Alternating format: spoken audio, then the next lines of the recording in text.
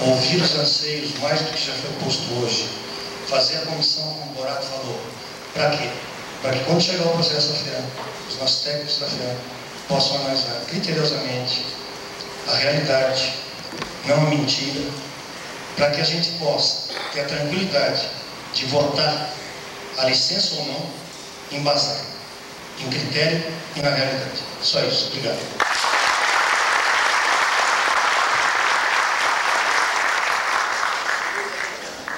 E o último conselheiro escrito, Emanuel Martins Simões Coelho.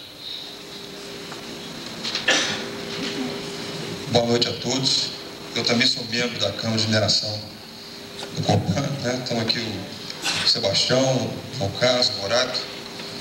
E realmente me sinto surpreso. Eu acho que esqueceram de convidar o pessoal que é pró-Vale, né? Eu confesso que não ouvi nenhum depoimento em favor da Vale. Embora, talvez... Embora talvez com ressalva a dona Maria de Lourdes, que disse que a Vale fez muita coisa boa. Mas, infelizmente, ninguém lembrou o que ela fez nesses 56 anos que ela atuou aqui em Itapira. Eu, eu acredito que tenha feito também, mas ninguém lembrou. E por isso, embora o padre José Cláudio não queira que a gente nomeie um vilão, hoje, infelizmente, a vilã está nomeada. E eu acredito que também nós não podemos misturar os papéis. Nós, que estamos, somos, somos técnicos principalmente, devemos saber definir bem os papéis da empresa e do poder público. Nós sabemos hoje que o Estado tem se retirado cada vez mais do setor produtivo. Está aí a privatização para mostrar isso. Então não cabe ao setor produtivo construir escolas, hospitais, UTIs, etc. Isso é papel do governo, do Estado. O setor produtivo tem de produzir e produzir bem, porque a competição é cada vez maior e é internacional no caso específico do minério de ferro. Está aí a Austrália para provar isso, muito mais perto do mercado, do mercado consumidor. Bom, por outro lado, se nós somos contra essa barganha de querer que a empresa faça isso, faça aquilo, nós sabemos muito bem que a empresa não pode poluir. Isso é uma questão hoje do principal papel do desenvolvimento sustentável. Quem produz hoje mineração, quem faz mineração hoje não pode fazer como se fazia antes. Então, para isso está aí a FEAM, com os técnicos fiscalizando sistematicamente as empresas para que elas lavrem de acordo com aquele plano que foi aprovado pela FEAM. Então, a Vale ainda tem 20 anos pela frente, ela tem um passivo enorme, sabemos disso. E ela está tentando sim, inclusive nós da Câmara visitamos a Vale, vimos o que ela tem feito e justiça seja feita. Embora são muitas áreas ainda para serem recuperadas, muito já foi feito em termos de recuperação.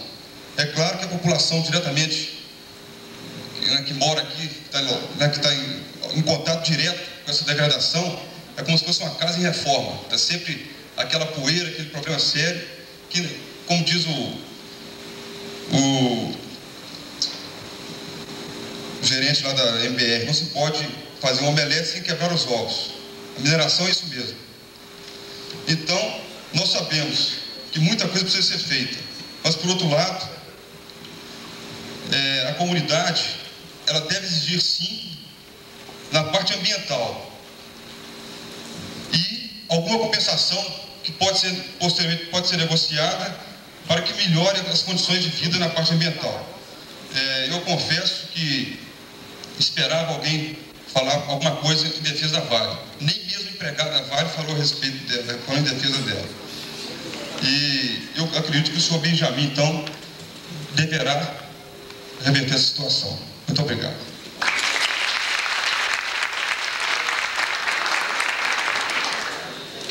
Passamos para a sexta parte que é a manifestação dos parlamentares. Os sete vereadores inscritos pela ordem. Vereador Cássio Duarte Guerra. Logo a seguir, vereador Hélio de Assis Vieira. Até cinco minutos, por favor. Oh, meu Deus. Gente, boa noite. Eu sou Cássio Duarte Guerra, sou contador, advogado, sou vereador por Itabira pelo terceiro mandato, candidatei a prefeito em 1992, perdi, mas nós viemos aqui para dizer, viu, Pato Cláudio, queria ver, dizer, Pato Cláudio, até nos independenticiarmos, confessarmos que diversas vezes nós somos omissos, diversas, e acreditamos que um futuro melhor poderia vir com a Vale do Rio Doce. Toda vez que a gente cutucava a Vale do Rio Doce, aparecia um anjo salvador. Olha aqui que nós vamos resolver seu problema ali, nós vamos resolver os problemas da comunidade aqui, acolá, e assim nós estamos acreditando. Eu quisera até lembrar aqui diversas vezes dos compromissos. Houve uma certa ocasião que nós partimos para a Assembleia Legislativa fazendo algumas reclamações em torno de Itabira. Na época eu era presidente da Câmara. E quando eu voltei, assustei com os vereadores, o prefeito, todo mundo lá no Areião. E havia lá um gringo, um engenheiro, um dono de uma empresa em Guslar, oferecendo uma fábrica de jipe. Ele não sabia falar o português, ele não sabia a língua daquele pessoal, e aquilo que foi apresentado pelo Decast na época ficou como um sonho para Itabira. Assim, sabe, Padre Cláudio, nós vivemos de sonho.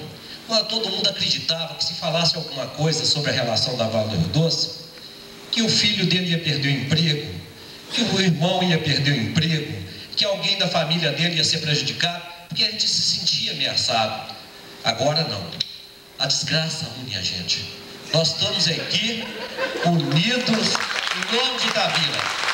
Estamos aqui unidos em nome de Itabira, sem cor partidária.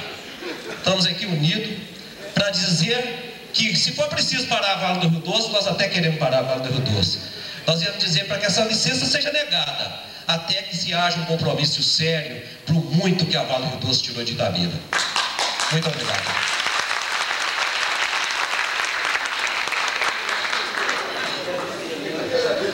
Hélio de Assis Vieira, Hélio Quadrado, sou vereador segundo mandato. É, sou fazendeiro e venho aqui é, mostrar desses anos que eu sou vereador o que a Vale do Rio Doce apresentou é, em Itabira. Mas primeiro eu quero agradecer esse grande presente que a FEAM está nos dando hoje, que é a primeira vez que a comunidade de Itabira consegue falar com a Vale do Rio Doce representada diretamente. Nós ainda, nesses cinco anos que somos vereadores, não conseguimos a conversar de forma leal e de forma até competitiva.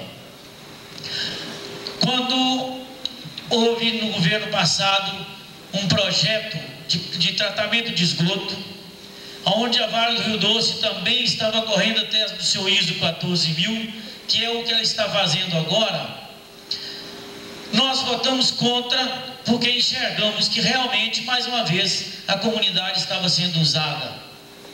No entanto, a Vale, através do seu lobby, foi a Belo Horizonte, no estado de Minas, e colocou lá uma mensagem ou um artigo dizendo a orquídea desrespeitada, aonde meu nome levava dizendo que eu estava desrespeitando as orquídeas de Tabira. Mas, por felicidade, a minha consciência estava respeitando o Itabirano. A minha consciência daquele eleitor que votou em mim, que confiou no seu voto, estava sagrado e defendido. Porque a Vale do Rio Doce toda a vida, eu fiz um estudo quando eu fui em Carajás, são Luís do Maranhão e Vitória. Enquanto eles estavam mostrando uma coisa, eu estava estudando outra. E pude observar que em Carajá, São Luís do Maranhão e Vitória, eles fizeram alguma coisa às compressões políticas e do meio ambiente. Em Itabira, eu posso dizer temerosamente, um artigo e um provérbio de um grande poeta que disse: Se você não está satisfeito com o que está recebendo, verifique o que está emitindo. E é meu medo da comunidade de Itabira, porque nós recebemos da Vale do Rio Doce aquilo que ela, no seu direto, se propõe. É uma empresa que tem que gerar lucros e ela trabalha em cima dos seus lucros. O resto não interessa. Seria bom para a Vale do Rio Doce que Itabira e o Itabirano mudasse para Santa Maria, para ela colocar os seus rejeitos na Avenida João Pinheiro, no bairro do Pará e minerasse tranquilamente. O Itabirando é uma pedra no sapato da Vale do Rio Doce, que ela não tem interesse nenhum em progresso da nossa cidade, porque todos sabem que a empresa não tem alma e nem sangue, ela trabalha em cima de lucros.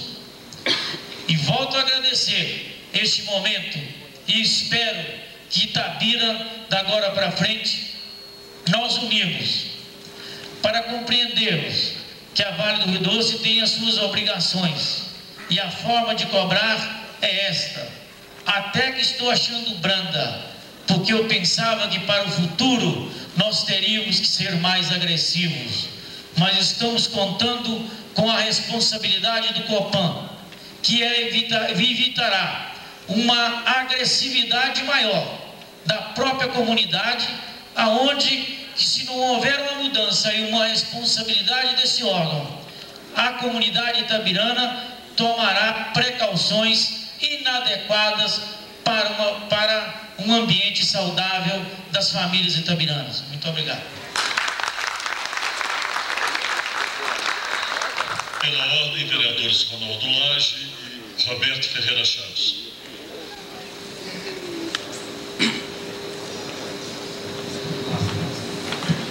Boa noite a todos. Eu sou o vereador primeiro mandato, presidente da Câmara Municipal de Tabira.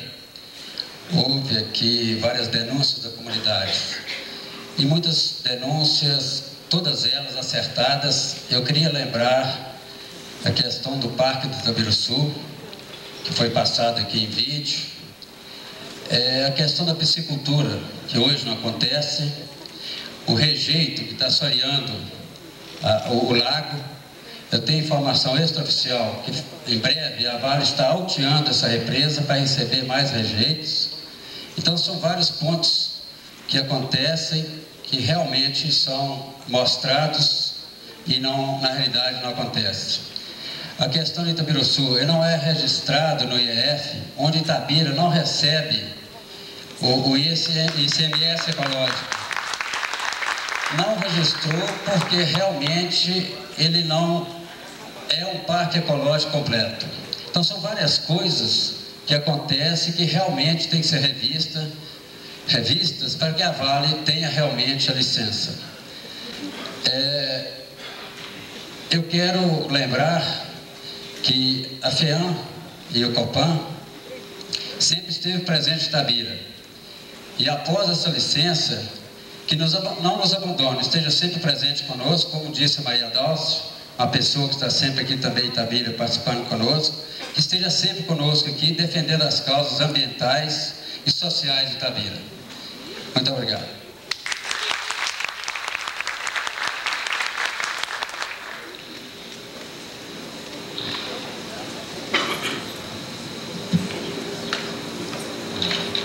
Boa noite a todos.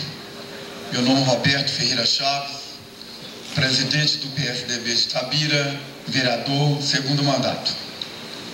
Face às exposições de todos aqui colocadas, eu gostaria que observássemos é, um artigo da nossa lei orgânica do município de Itabira. O artigo 148 do meio ambiente. Todos têm direito a um meio ambiente saudável e ecologicamente equilibrado, bem de uso comum do povo e essencial à sadia qualidade de vida impondo-se a toda a coletividade e, em especial, ao poder público municipal o dever de defendê-lo e preservá-lo para as presentes e futuras gerações. A linha A. Preservar e restaurar os processos saneamento ecológico essenciais e promover o manejo ecológico das espécies e ecossistemas. É importantíssimo que façamos uma análise desse artigo. Aqui, todos os cidadãos e entidades expuseram seu pensamento e os problemas vividos pela nossa comunidade. Nunca a Vale do Doce sequer tivera a vontade de discutir democraticamente com as instituições, com a comunidade, com o poder público municipal e muito menos com as instituições eminentemente ligadas à preservação do meio ambiente. A prefeitura nunca fora, de fato, efetivamente acionada para se discutir os problemas emergentes do nosso município. O poder legislativo sempre fora ignorado e muitas das vezes, por que não dizer, debochado. Na gestão passada, em algumas das vezes, quando cobrávamos ações da Vale do Doce para que pudesse solucionar os problemas da nossa sociedade, lá muitas das vezes eram chamados de radicais. Mas hoje estou feliz, feliz por aqui estar ouvindo depoimentos e sentimentos de todos os tabiranos e de suas instituições, colocando às claras o autoritarismo, a arrogância, a impetulância da Vale do Doce. Um tratamento arbitrário, um tratamento irresponsável que sempre tivera com o cidadão itabirano. Senhores dirigentes da Vale do Rio Doce, senhores conseguem poluir o nosso ar, conseguiram poluir as nossas casas, mas pelo amor de Deus, não queiram poluir a nossa memória e a nossa consciência.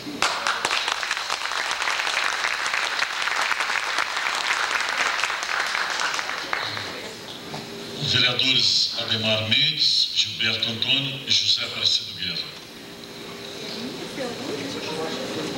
Ademar? Senhor Ademar?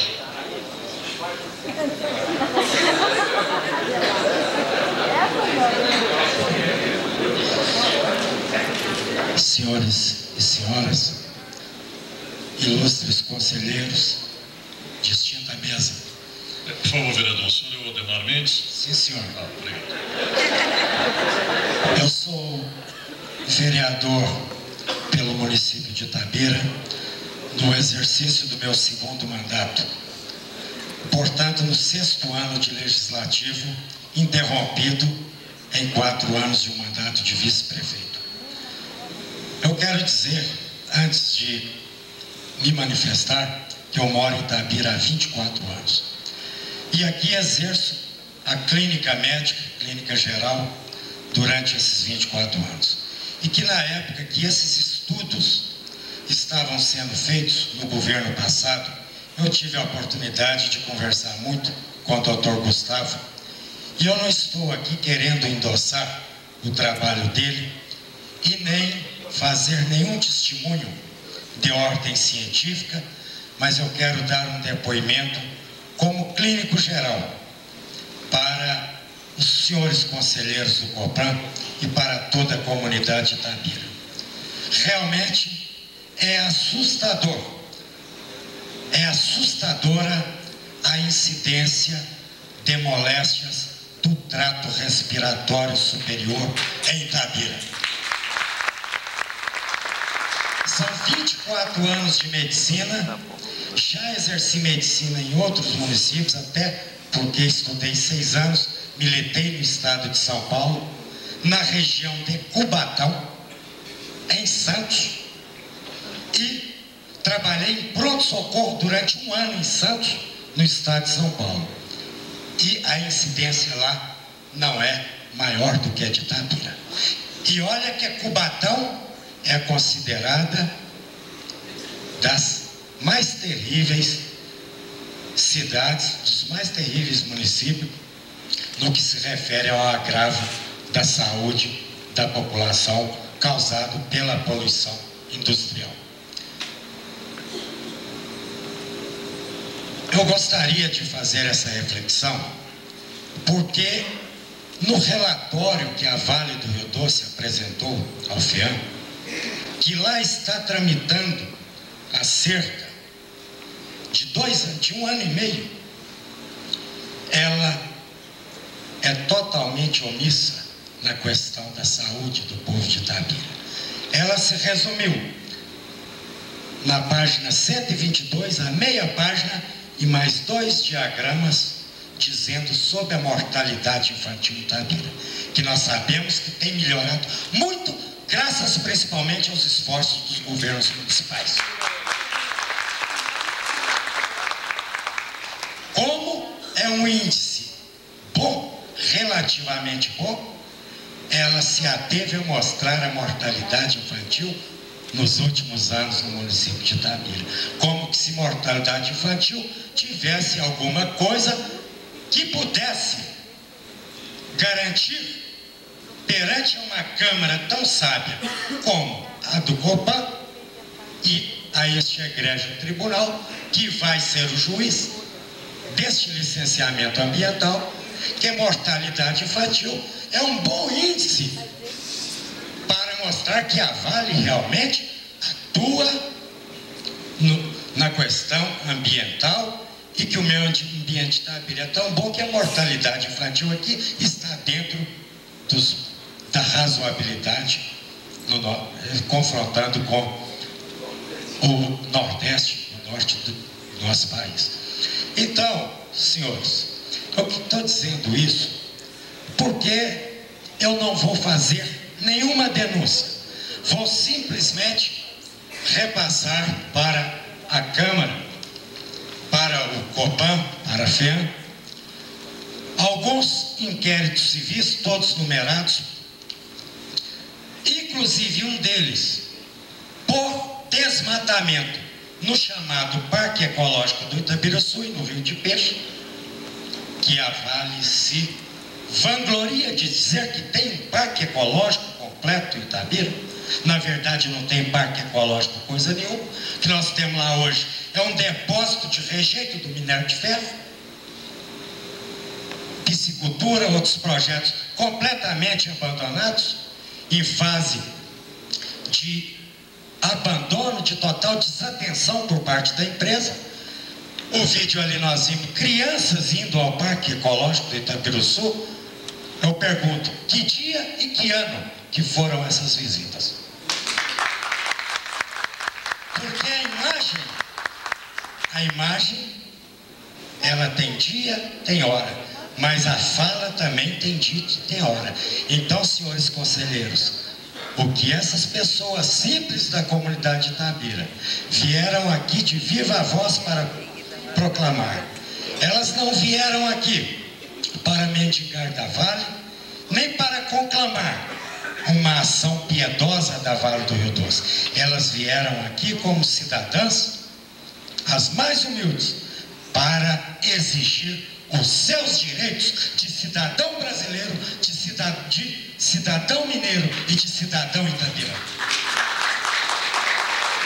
Eu vou passar este documento e mais um auto de infração para mostrar e para reforçar o descompromisso, a desatenção e a desconsideração, aqui ilustrada pelo Arnaldo, presidente do CODEMA, que diz que o CODEMA não fora em nada comunicado sobre o andamento dessa tramitação desse processo lá no FEA. Não foi só o CODEMA, senhor presidente da mesa, senhores conselheiros. Eu, como membro, sexto ano que sou membro da Comissão de Meio Ambiente da Câmara Municipal, sexto ano, nunca fui procurado pela Vale, nem como presidente, nem como relator, e não tenho conhecimento, a não ser quando era de interesse da empresa, quando quis enfiar a goela abaixo do povo de Tabira, endividando as custas do município, fazer uma ET em busca do ISO 14 mil, é, a não ser neste momento. A Vale nunca mandou seus técnicos para a Câmara Municipal Tabira, a não ser para ir lá fazer lobby, para tentar empurrar, empurrar a goela abaixo um projeto de ética que nada tinha a ver com as prioridades maiores do povo de Itabira. E aqui foi dito pelo atual presidente da Câmara, foi reforçado pelo presidente que deixou recentemente o cargo que a Vale para com a Câmara Municipal de Itabira, para com o próprio Codema, enfim, para com toda a sociedade de Itabira, tem se mantido, pelo menos enquanto estatal que ela foi, ela tem se mantido numa posição de dona da verdade, numa posição de total desrespeito à, à inteligência e à representação do povo de Itabira. Então, eu, eu vou encerrar. Eu gostaria de passar esses documentos. Este documento aqui é datado do dia 30 de janeiro, um auto de embargo a um desmatamento de 5 hectares há 13 dias atrás ocorrido próximo à Lagoa do Pontal. Informações extraoficiais me dão conta que são de 10 a 15 hectares e não 5 como consta aqui no laudo, mas que a Vale foi autuada por não ter a concessão ao devido licenciamento para tal prática. Isso há 13 dias da audiência pública. Isso para reforçar, senhores membros do FIAM, do COPAN. Isso para reforçar o total descaso com que Itabira foi sempre tratada. Há 13 dias de uma audiência pública e há 13 dias de, do sancionamento que, convém lembrar, hoje foi sancionado pelo presidente da República a nova legislação ambiental aprovada no Congresso Nacional. E ela vai vigorar daqui a 45 dias. Esperamos, esperamos que agora, como empresa privada, a Vale do Rio Doce dê mais atenção ao povo de Itabira e respeite a cidadania da terra de Carlos Drummond de Andrade. Muito obrigado. Vereador Gilberto Antônio Magalhães.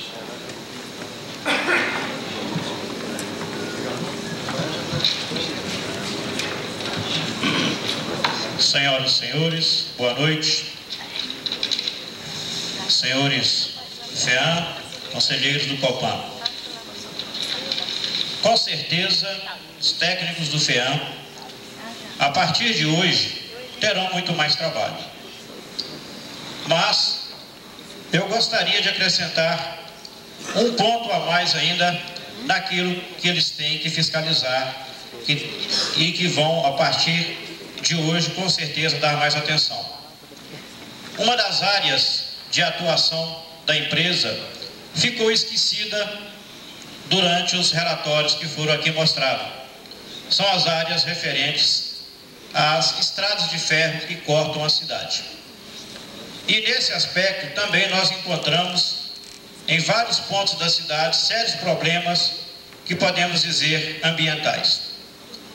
Em muitas partes da estrada de ferro, nós encontramos mato crescendo e nesses locais, é claro que são depósitos é, de animais peçonhentos. Há relatos em várias partes que cobras invadem residências e como a estrada percorre grande parte de bairros da cidade, em certas áreas ainda detectamos lixo amontoado, entulhos e até obra da Vale do Rio Doce inacabada, com esgoto a céu aberto, como podemos exemplificar entre os bairros Caminho Novo, Areão e Bairro Amazonas, onde foi construída um túnel chamado Túnel Bala e que coletaria rede pluvial e esgotos. E a empreiteira da Vale que lá fez deixou uma parte da obra inacabada. Então, ao longo desses trechos, onde mato cresce, entulho é depositado, lixo e até esgoto a céu aberto, gostaríamos de contar também com a atenção dos técnicos da FEAM para essa área de atuação da Vale do Rio Doce, que corta toda a cidade. E com relação ao monitoramento do ar, eu também queria fazer uma consideração. Que Itabira, nesse aspecto, está privilegiada com o monitoramento do ar. porque nada mais, nada menos que 85 mil habitantes são, a olho nu, monitores da nossa situação ambiental. Esses nossos habitantes sentem na pele, nos olhos, no aparelho respiratório, enfim, nos pulmões, todo o pó que desce sobre a nossa cidade. Eu, com certeza, posso dizer que não há método melhor para avaliar a suspensão de partículas na cidade do que os próprios habitantes que aqui vivem. Por enquanto é só isso. Boa noite. Obrigado.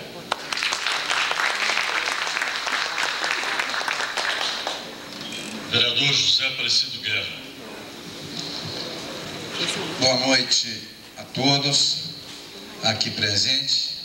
Nós temos até que, em primeiro lugar, agradecer a Deus por esta oportunidade que nos dá hoje de estar presente a esta reunião tão importante, num momento crucial para o nosso município, porque hoje já foi citado aqui quase todos os problemas que nós sofremos com a exploração do nosso minério. Mas nós queremos voltar, às vezes repetir a questão da, da poluição dos nossos mananciais como já foi dito aqui pelo nosso representante aqui do SAI, José Domingos, quando nós temos o manancial do Rio de Peixe, que é poluído, com certeza, pela usina de tratamento de minério da Vila Conceição. Temos a, o manancial da Lagoa do Pontal, poluído pela usina de tratamento de minério do Cauê, temos ali o Cambucal também poluído com, a, o assoramento do minério que fica, vamos dizer, compactado ao longo daquele córrego que passa no bairro João 23. Apesar de ter feito as lagoas de contenção no Cambucal e no Periquito. Mas às vezes aquilo transborda e acaba açoriano esse, esse córrego, que hoje, como já foi dito por, essa, por uma senhora aqui, que não tem mais peixe, não tem mais nada, só tem mesmo minério. Teve uma época, inclusive, que teve até que desaterrar, porque estava é, tomando conta das ruas até.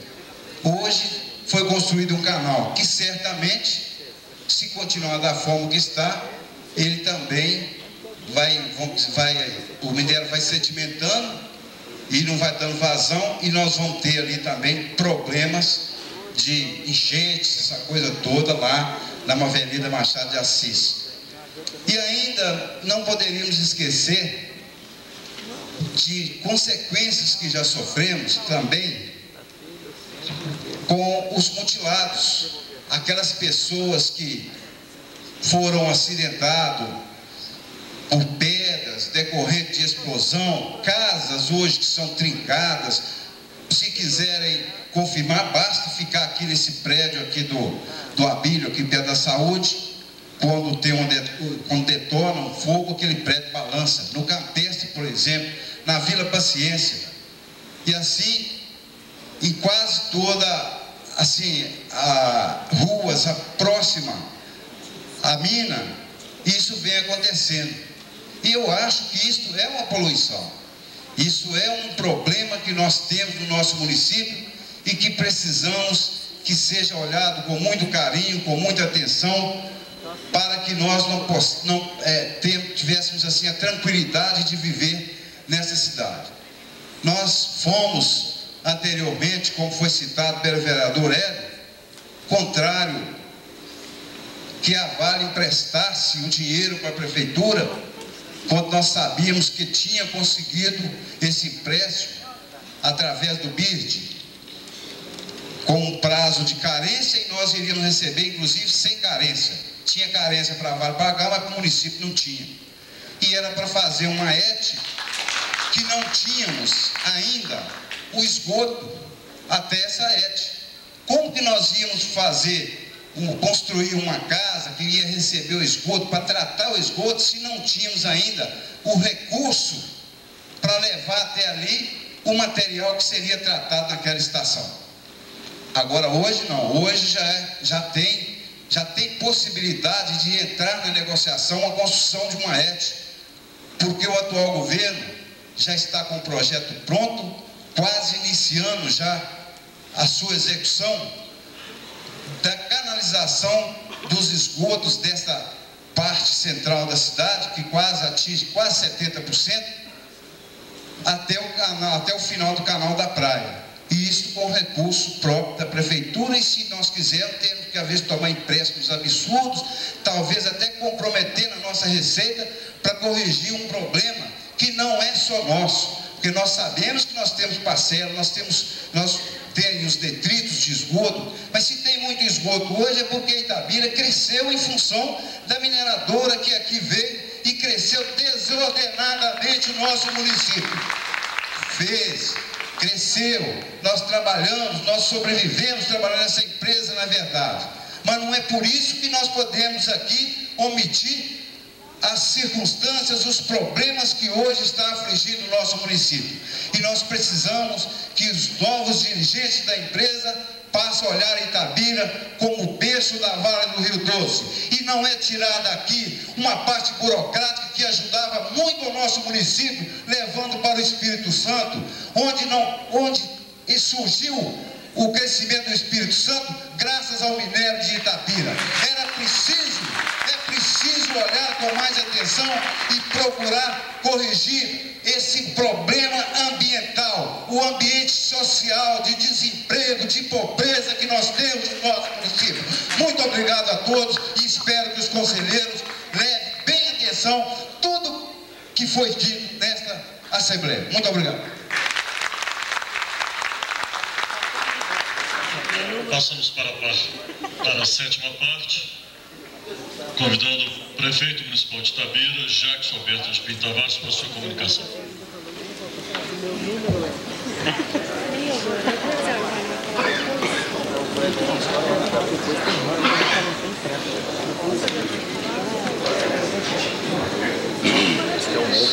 Senhores conselheiros do COPAN, senhores membros do FEAN, senhores vereadores, os prefeitos que estiveram aqui, senhores dirigentes da Vale do Rio Doce, senhores técnicos que elaboraram o relatório e trabalharam, meus amigos de Itabira, boa noite, amigos e amigas, boa noite. Eu venho trazer aqui algumas poucas palavras, mais no sentido de reflexão nós preciso de nós entendermos as coisas no seu tempo.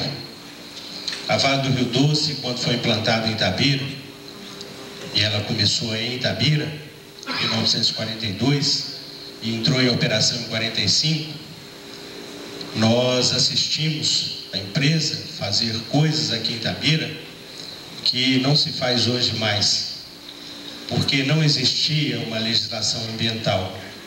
A primeira lei ambiental do Brasil foi votada em 1980 e foi regulamentada em 82 e até hoje ela está em fase de regulamentação com o decreto que foi assinado ontem pelo presidente da República. Então nós dizemos aqui que a Vale do Rio Doce fez absurdos e que a comunidade de Itabira foi omissa e foi parceira dos absurdos, não é bem verdade. A comunidade de Itabira sempre lutou contra os absurdos que se fazia aqui, mas ela não tinha instrumentos, instrumentos legais de se organizar e se contrapor à Vale do Rio Doce. Hoje é diferente. Hoje existe uma legislação ambiental e existem homens, mulheres que são agentes e fiscalizadores disso. E é por isso que hoje é possível fazer uma audiência dessa, para discutir o licenciamento ambiental corretivo da Vale do Rio Doce, que ela pediu não porque ela seja boazinha que ela esteja interessada em corrigir todos os problemas de Itabira, porque em 94 ela foi acionada pelo FEA. Em 96 ela preparou um relatório e pediu o licenciamento corretivo. Mas mesmo assim é um avanço. Eu estou dizendo isso para a gente ser justo, porque senão nós vamos achar que só hoje existem técnicos bons fazendo bons projetos e existem políticos defendendo os interesses da cidade. E que para trás todo mundo era ruim, todo mundo era vendido. Não é bem assim. Eu gostaria até de fazer justiça também aos técnicos da Vale do Rio Doce. E fazer justiça Vale, que fez muita coisa, fez alguma coisa, tem projetos sim.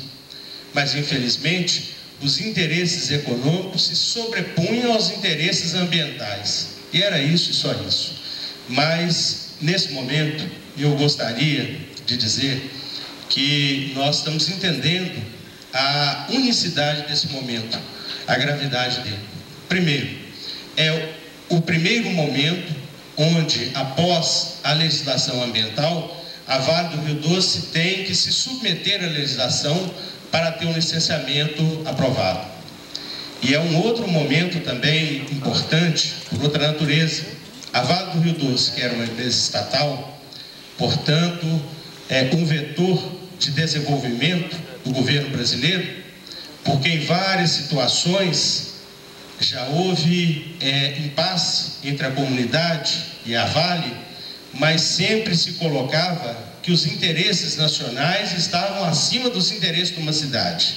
E a cidade se curvou a isso.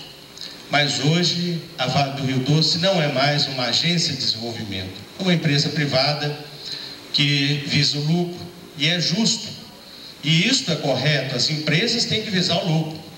Mas a empresa tem hoje que buscar retomar um novo patamar de relacionamento com a sociedade com seus trabalhadores, com a cidade que existe e que já existia quando ela se implantou. Porque não é possível uma cidade de 150 anos se curvar a uma empresa de 50. E principalmente a uma empresa de 50 que nasceu aqui, pequena, que no início, para fazer as suas compras, era preciso que o superintendente, o Itabirano, doutor Pedro, abonasse a empresa para ela comprar as enxadas, para ela fazer a exploração do minério de ferro. Hoje, a Vale do Rio Doce não precisa mais que ninguém de Itabira a abone, até porque ela é muito maior e muito mais poderosa do que Itabira. Mas Itabira também se acha no direito de não se curvar a Vale do Rio Doce. Nós estamos aqui apresentando um relatório é, que contrapõe ao relatório que a empresa apresentou é, pedindo licenciamento. Nós estamos pedindo ao Copan que examine esse nosso relatório e que não conceda o licenciamento à Vale do Rio Doce, porque o relatório dela é insuficiente, não tem substância e não aponta os caminhos para hoje, para médio prazo e para longo prazo.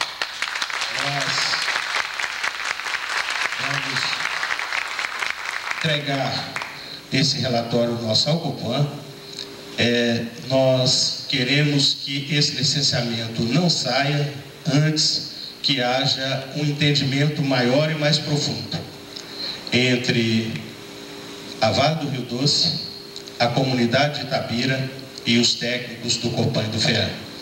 Estamos também anexando um outro documento, que é um documentário que nós fizemos aqui em Itabira, sobre a questão ambiental. Eu gostaria até de pedir ao presidente que, após a audiência, após é, a finalização oficial da audiência, passasse esse documentário para as pessoas que estão aqui, porque eu imagino que ele pode ser um contraponto ao documentário que nós assistimos aqui no início da audiência. Ele coloca o outro lado da verdade e todos nós sabemos que uma história é, pode ter mais de uma versão. Então, eu acho que é importante que os senhores é, conselheiros do Copan e que os senhores que estão presentes aqui tenham o direito de ver o outro lado das coisas. Muito obrigado. Eu vou entregar esses dois documentos ao presidente da mesa. Muito obrigado. Eu gostaria de fazer um agradecimento ao Copan e ao FEAM por ter nos permitido, nos possibilitado essa audiência. Estamos agradecidos de coração e gostaria de fazer também aqui um agradecimento à comunidade Tabira, que eu senti que em alguns momentos teve que se controlar é, em função de algumas informações que foram apresentadas aqui, mas se comportou com a educação e com a generosidade que é típica daqui de Itabira. Muito obrigado aos meus conterrâneos, eu tenho orgulho dos senhores. Muito obrigado.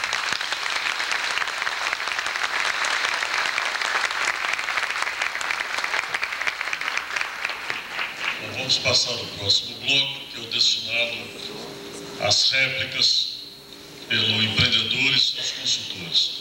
Evidentemente que, por tudo que foi dito aqui, é, não vamos esperar que a empresa tenha o tempo suficiente para prestar todos os esclarecimentos é, que foram solicitados ou mesmo responder a todas as críticas. Evidentemente que a empresa deve procurar os pontos centrais, os mais importantes, né? e ela terá também é, oportunidade de apresentar por escrito é, documentação e prestação de esclarecimentos é, que foram aqui solicitados e ao longo de todo o processo de licenciamento. Então, com a Vale do Rio Doce e seus consultores, um prazo até 15 minutos para as réplicas.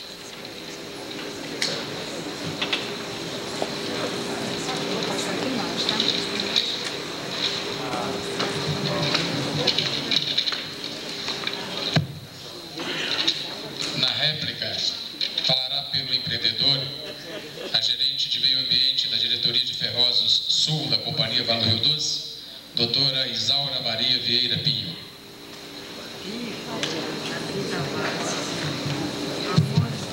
Bom, boa noite a todos. Como o senhor prefeito falou daqui de baixo, eu vou também me dar o direito de não subir, né? Acho que a gente fica mais perto e mais fácil de conversar. Olha, eu realmente teria aqui, acho que, horas para falar, né? Pelo evento, pelo material que a gente apresentou, pelo meu passado técnico na área de meio ambiente. É, mas algumas coisas me chamaram a atenção, não estavam nem no script, tá? É mais que uma. uma é, é um desabafo, né? E aliás é um elogio realmente que foi feito aí pelo senhor prefeito, à comunidade eu acho que uma, uma audiência pública dessa. Espera um pouquinho. Eu quero água, que eu não quero ficar, que nem você ficou aqui seca.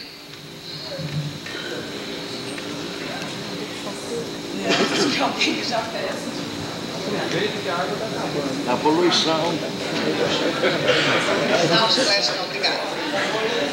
Eu queria elogiar realmente a comunidade presente, porque com toda a emoção, seja por que causa for, não vai aqui nenhum juízo de valor, nem de um lado nem de outro, mas realmente o comportamento de vocês é digno de receber os parabéns da empresa. Estou falando pela empresa agora, né?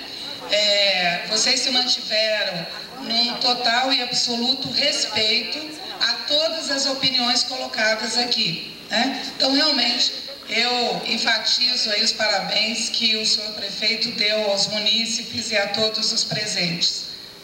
Como eu coloquei. Melhor.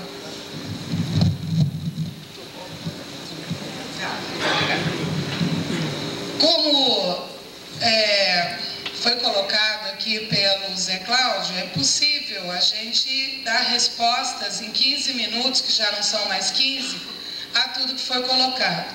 Existem as cinco dias úteis, existe a proposta feita pela própria direção da empresa de que periodicamente nós estejamos reunidos para discutir questões de interesse da comunidade e questões de interesse da Vale do Rio Doce também com vocês. É, precisamos organizar tudo isso muito bem, né? São muitos assuntos, existem pendências de um lado, existem esclarecimentos do outro. Agora, eu gostaria de colocar alguns temas que.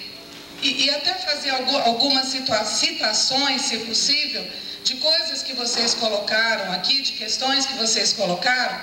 E, e também gostaria de dizer que não nos encarem nesse momento, não lembro aqui exatamente quem falou, é, como nenhum anjo salvador. Isto não é uma promessa, isto é uma.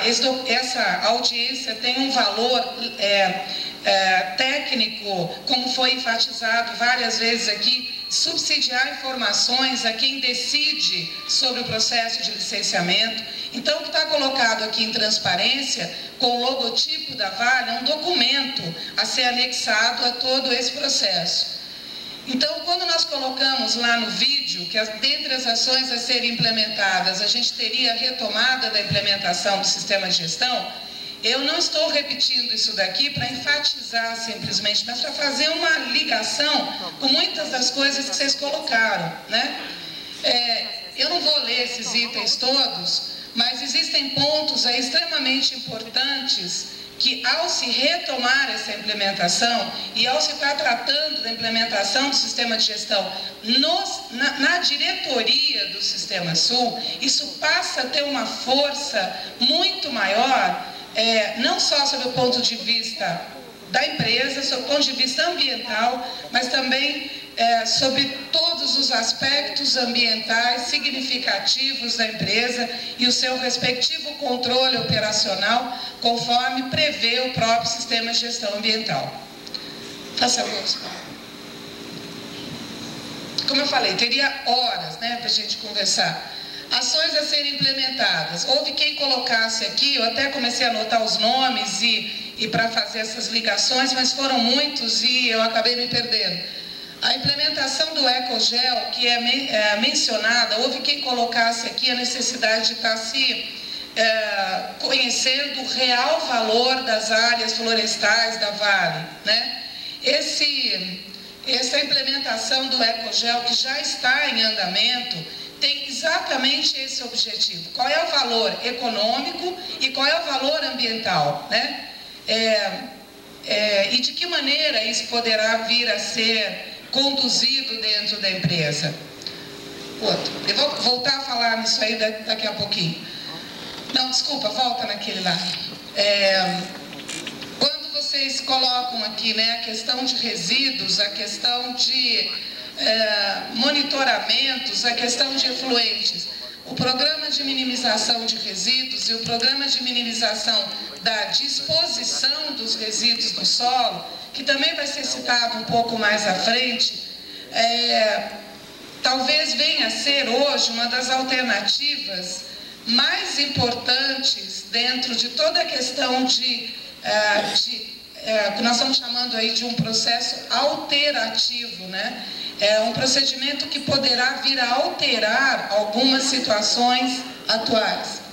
O mapeamento da rede hidráulica que foi mencionado, que é fundamental para toda e qualquer empresa, assegurar que o monitoramento do seu efluente hídrico ou monitoramento dos seus efluentes hídricos é realmente é, apresenta valores que tenham credibilidade, né? É só a partir disso que a gente vai ter um monitoramento eficaz, consistente. Continuidade e melhoria das ações de controle já implementadas, que não se pode negar que existem e são várias, né? Próximo. Quanto tempo eu tenho, por favor? Oito. Dez minutos. Dez minutos? Bom, é, ainda na linha das ações a serem implementadas, é, quando a gente coloca aqui o estabelecimento, vejam, todas as coisas estão sendo colocadas aqui, eu não estou falando de nada de grande impacto, eu não estou não tô marketeando nenhuma solução. O que eu estou colocando são soluções técnicas. E são soluções técnicas que embasam um programa de gestão ambiental. Né? Não adianta nenhuma. Se, se essas coisas não acontecerem, dificilmente a gente vai conseguir é, garantir um resultado. Né? estabelecimento de requisitos para fornecedores e prestadores de serviços, como forma, inclusive, de exercer influência sobre a rede de fornecedores da Vale. Ontem houve uma, uma reunião na Vale, hoje vocês mencionaram isso aqui também, a questão do fomento à agência de desenvolvimento, coisas desse tipo. Né?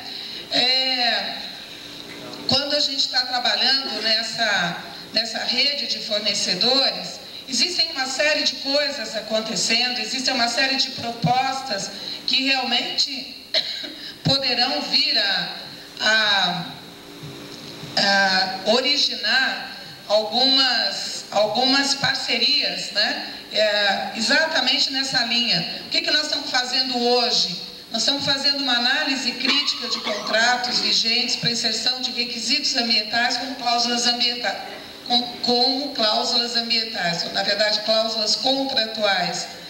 O que, que significa isso? Rever todos os procedimentos existentes hoje para seleção e contratação de serviços e de fornecedores, né? Priorizar fornecedores e e prestadores de serviços que tenham já um desempenho ambiental consistente. Né? É uma forma da gente começar a agregar valor ambiental a todos os serviços que a empresa vem desenvolvendo.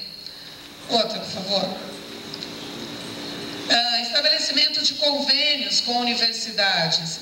Estabelecer uma relação de parceria com centros de excelência para aprimoramento tecnológico buscas de alternativas. Nós ah, é, fizemos um contato, o Itabira é bastante pequeno e, e é, é, claro, esse contato é conhecido. Fizemos um contato com a, a FONSESI, temos uma reunião com a FONSESI amanhã à tarde, estamos discutindo, ah, vamos amanhã discutir uma proposta ah, de, de trabalho com a própria FONSESI, quer dizer, é, é, esta linha, inclusive, é uma linha é, na busca de alternativas de reprocessamento de resíduos, como é especificamente a minha área de competência, eu tenho que tomar muito cuidado para não esgotar o tempo. Mas existem aquela, aquela colocação de atuação como agente indutor da implementação de polos de reprocessamento de resíduos nos municípios inseridos na área de influência da Vale, é, eu acredito que essa é a única e grande saída que as grandes empresas hoje têm para minimizar a disposição de resíduo no solo. Né? Não existe outra.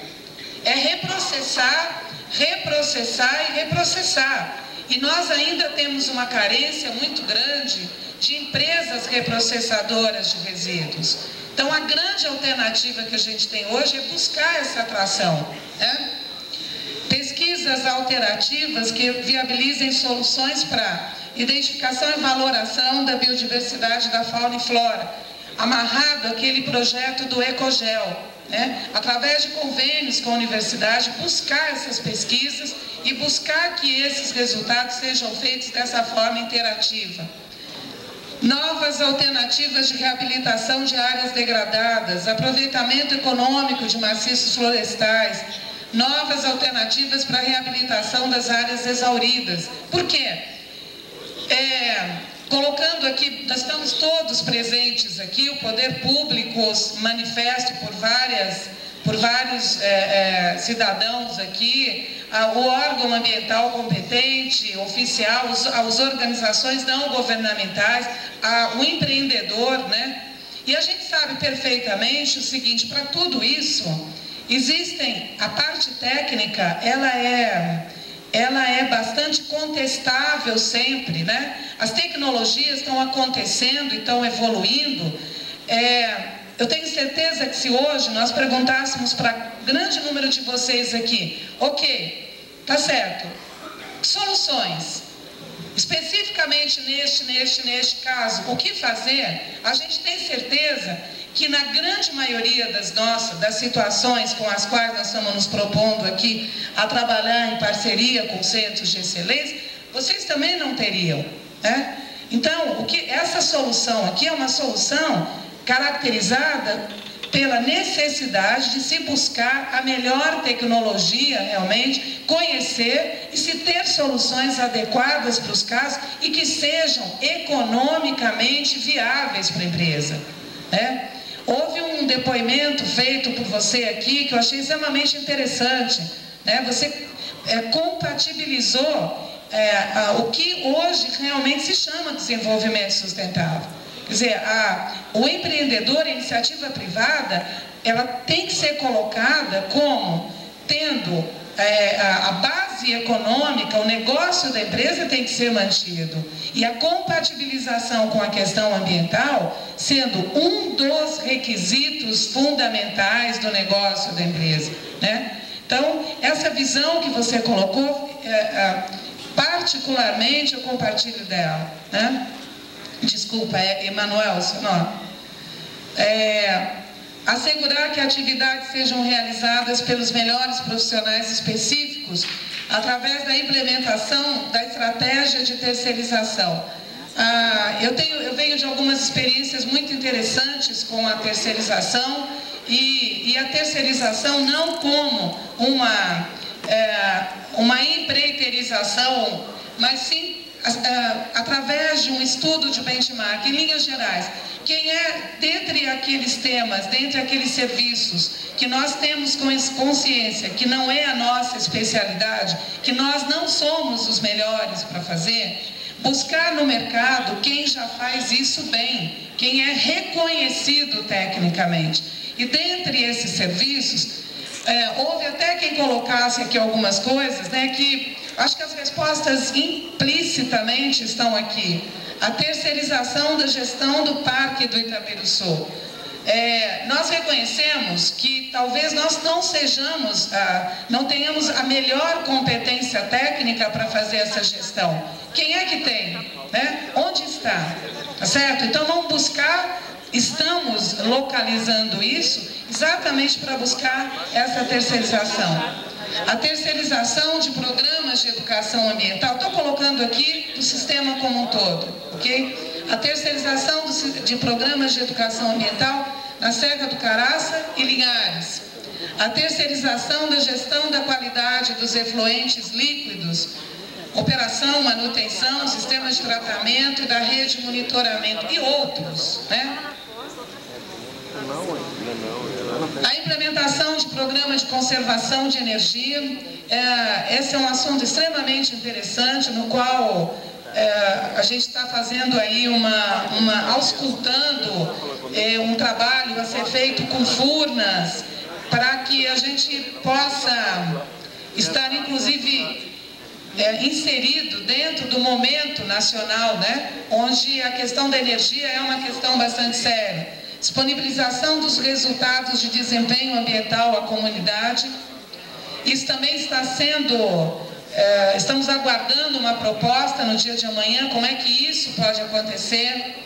Com base no diagnóstico ambiental já realizado, esse é um ponto muito importante e que é, não é bem uma ação a ser implementada, mas no objetivo está claro, consolidar foi feito um diagnóstico, e aliás, quero até colocar o seguinte, foi falado aqui sobre questão da, da ferrovia, né? Eu queria dizer para vocês que o diagnóstico da ferrovia também está sendo elaborado, o diagnóstico ambiental da Regional 3 já foi elaborado, está sendo feito da Regional 2 e 1, né? É, consolidar o plano de ação decorrente desse diagnóstico e solicitar que os condicionantes de licenças, de termos de compromisso e outras ações, outras ações quais? Cuja necessidade foi detectada pela própria Vale por meio desse diagnóstico, sejam transformados em itens de um termo de compromisso global, né? Hoje vocês falam aí de um plano diretor de 86, tem um termo de compromisso de 93, tem um termo de tem condicionante de licença. Quer dizer, é um, isso é absoluta, sob o ponto de vista de gerenciamento da situação dentro da empresa, é absolutamente impossível se gerenciar a questão ambiental com condicionantes diferentes, amarrados a situações diferentes, alguns zerados em parte, outros não, né? Ah, outros zerados totalmente. Então, é realmente é, fazer um grande termo de compromisso. E para quem é, teve qualquer tipo de dúvida sobre a afirmação feita logo de início pela corporação da empresa, que da proposta de se ter aí uma, uma, um contato periódico, é, a gente está propondo né, a criação do Disque Vale, né, um, me, um canal de comunicação direta da é, comunidade, das associações, das... é claro que nós precisamos organizar isso, né? Porque se com toda é, com todo esse entusiasmo que vocês têm, a gente criar um Disque Vale, colocar um 0800 da vida, nós vamos ter que ter umas mil pessoas lá dentro, só para a gente poder estar tá dialogando, né? Então, é, precisamos organizar isso, de que maneira pode acontecer, através de associações, enfim, né? Vocês têm um grau de organização importante aqui. Só, concluir, por favor. Tá. Considerações finais, coincidiu, viu, Zé uh, Bom, algumas coisas que são muito importantes serem colocadas, né? O negócio da Vale é a mineração, a Vale está, como sempre esteve, sensibilizada a apoiar iniciativas do poder público.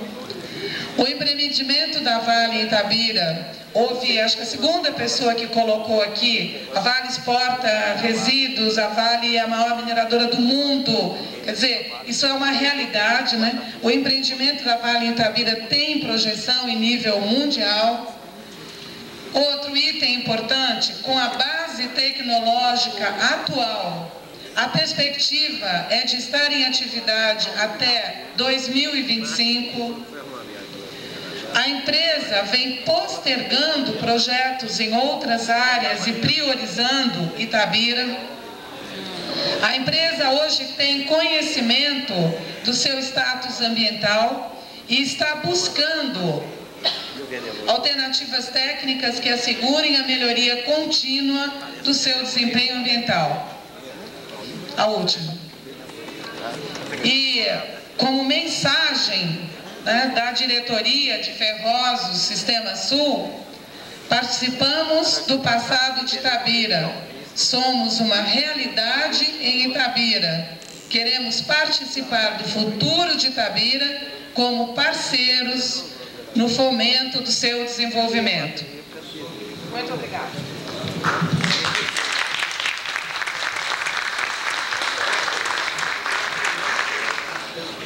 Em nome do solicitante, pergunta ao doutor Caio se ele quer fazer alguma consideração. É, é muito importante que a gente realmente chegue no final de quase cinco horas de discurso, de, de conversa. Eu me sinto assim feliz e aliviado. Por quê? Porque eu acho, tenho absoluta certeza que nós tomamos a decisão certa de foi a realização da audiência pública. Depois, é, após mais de 60 intervenções durante a noite de hoje, com mais de 12 é, páginas de anotações pessoais, mais uh, o que foi dito, o que foi assimilado pelos senhores conselheiros, eu acho que isso foi importantíssimo para enriquecer o nosso parecer. E falar que realmente, se não houver uma aproximação entre a Vale e a comunidade, dificilmente se resolver, resolverão essas questões. E por último, por último caso, é muito importante que a gente tenha o pessoal do CODEMA ao nosso lado, que nós convidamos a participar, porque a FIAN não é composta de super-homens nem seres iluminados que vão sozinhos e resolver uma questão tão complexa e complicada como a questão aqui do licenciamento de Itabira. Muito obrigado e eu que agradeço o privilégio de estar aqui presente.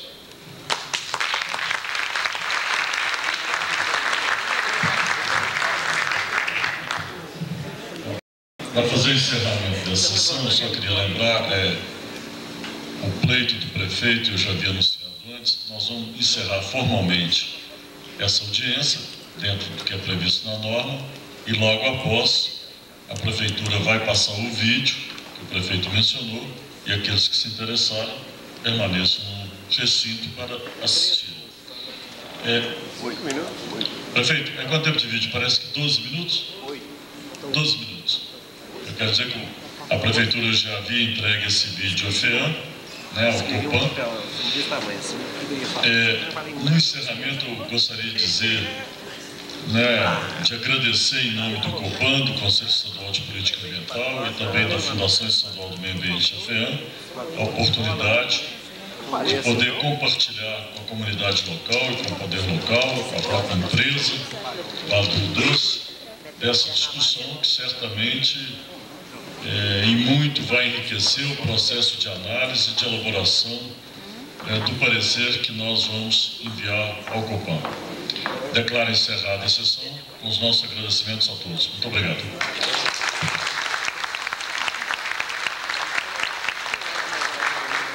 Explorando a riqueza do solo Itabirança, no princípio, timidamente, com uma incipiente tecnologia. Tempos heróicos é que a população curiosa, atraída pelo novo, assistia impassível. A agitação dos primeiros tempos invadiu a pequena e tímida Itabira, dando ao povo a sensação de progresso. O Cauê, que presidia nossas vidas, dominando nossa paisagem física e nossas almas, a tudo assistia.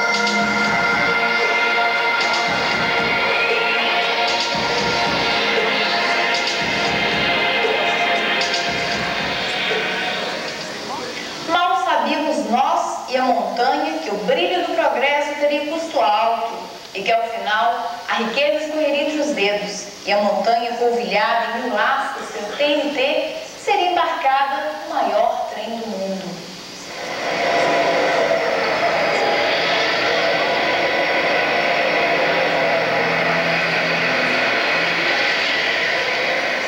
A montanha detonada é agora o vazio, uma cratera de mais de 3 quilômetros de comprimento 2 de largura e meio quilômetro de profundidade. A empresa, no seu plano diretor Meio Ambiente, Área de Tabira, elaborado há 12 anos, em 1986, propôs. A proposta para a Lavra do Cauê é a seguinte: convocar um grupo de artistas intelectuais que estudem um tipo de intervenção a fim de realizar seu efetivo valor cultural, tornando suas qualidades espaciais acessíveis à pessoa comum. Não há solução possível que encubra uma tal intervenção na paisagem. Assim, a única posição possível e aceitável é a exposição e utilização da área tal como resultou da atividade de mineração. Com todas as vantagens e desvantagens, assumir o paradoxo entre desenvolvimento tecnológico e interferência no meio ambiente, resultando num produto cultural com todas as suas contradições. O Pico do Cauê nunca mais deixará de ser apenas um retrato na parede de Drummond. No entanto, a lavra de Cauê está aí e deve permanecer como testemunho. Pode-se e deve-se, portanto, tirar partido da situação existente, reabilitando o meio ambiente danificado e criando eventos culturais, talvez com um enorme anfiteatro testemunho.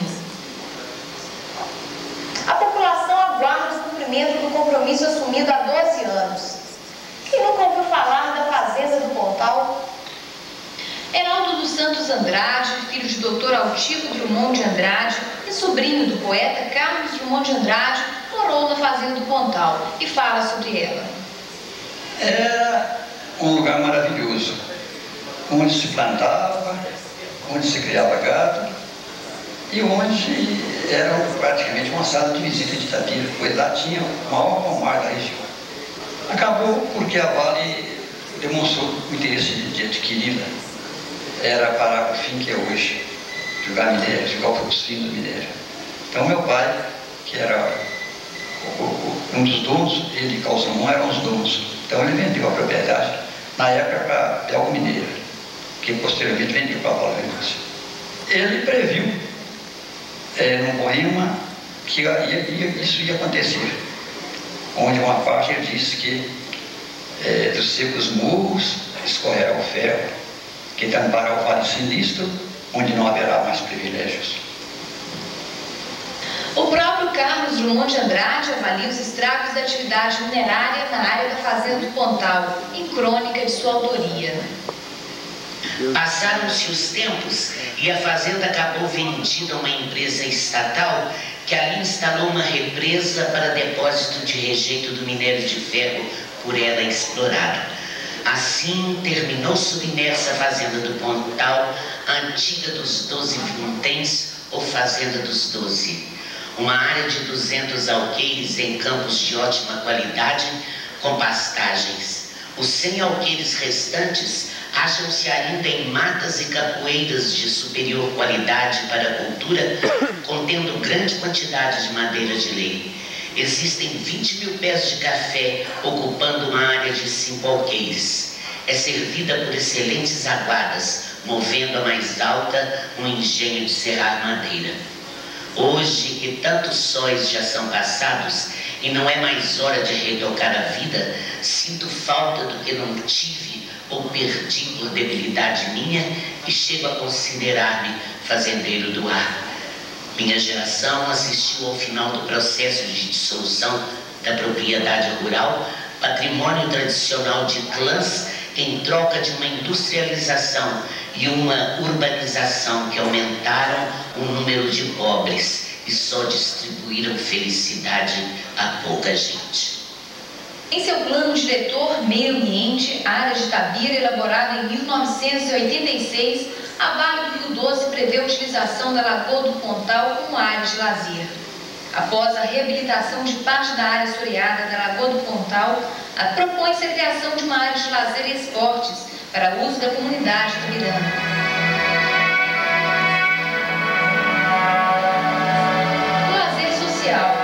descanso, combinados com a melhoria visual e o saneamento da área, se constituem uma necessidade vital para a cidade.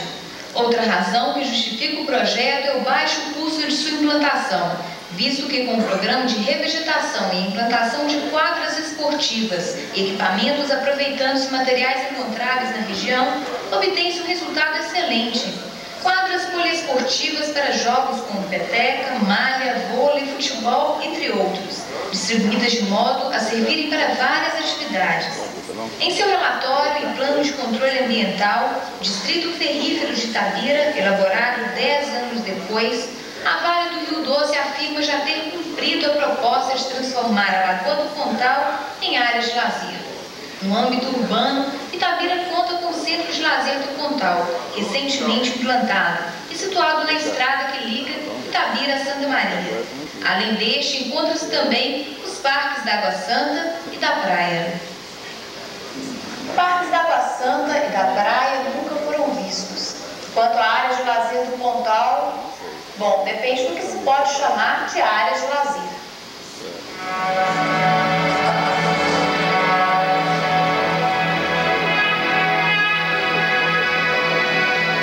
Hoje são mais de 400 hectares de área assoreada com rejeito mineral e esgoto doméstico.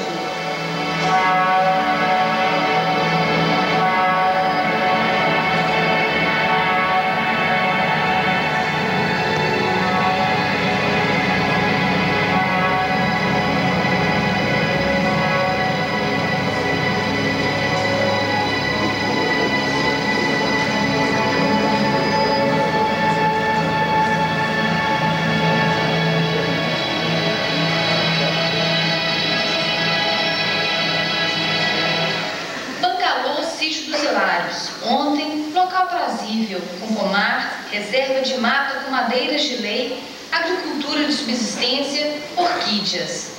Hoje, desapropriadas pela Vale do Rio Doce, as propriedades foram degradadas, com as nascentes comprometidas pelo material estéreo ali acumulado. Fazenda do Capão, ex-propriedade da Vale do Rio Doce, loteada em 13 sítios vendidos a terceiros, 10% da água do complexo Pureza, que abastece 50% da cidade, provém dessa área. E hoje, com a propriedade pulverizada, as nascentes correm o risco de serem comprometidas em razão de os novos proprietários desconhecerem muitas vezes as leis ambientais.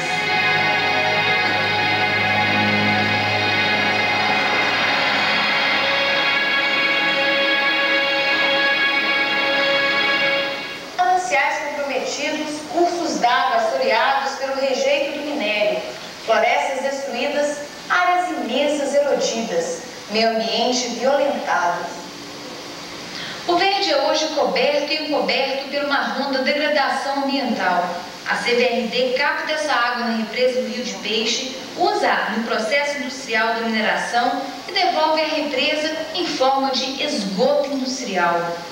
e pensar que este manancial é a única alternativa de Tabira para servir a população em caso de deficiência das estações Pureza e Gatos. A face posterior da área antes ocupada pelo Cauê vem sendo invadida pela erosão. É o cinturão marrom da terra ferida e ofendida pela irresponsabilidade da Companhia Vale do Doce, pelo desrespeito à cidadania da população itabirana. As proporções são tão grandes que engolem até mesmo torres de alta tensão. No arrojado desejo de sobrevivência,